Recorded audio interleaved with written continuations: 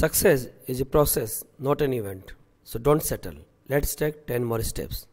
In this Das Kadam series, part 1, we will discuss 10 illustrations of fluids. If the mercury in the barometer is replaced by the water, what will be the resulting height of the water column? Density of the water and density of the mercury is given to us. It doesn't matter you are filling the water, you are filling the mercury or any other liquid pressure will remain same. It means pressure created by the mercury column must be equal to pressure created by the water column.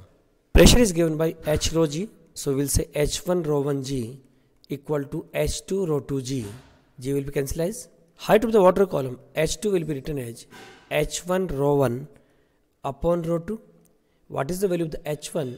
H1 is given by mercury column so it will be 76 centimeter so we will say 76 by 100 meter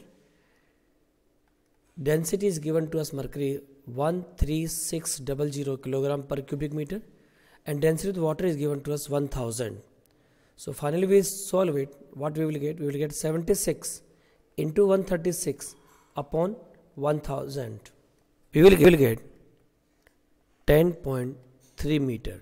So right answer to this problem will be option B that is 10.3 meter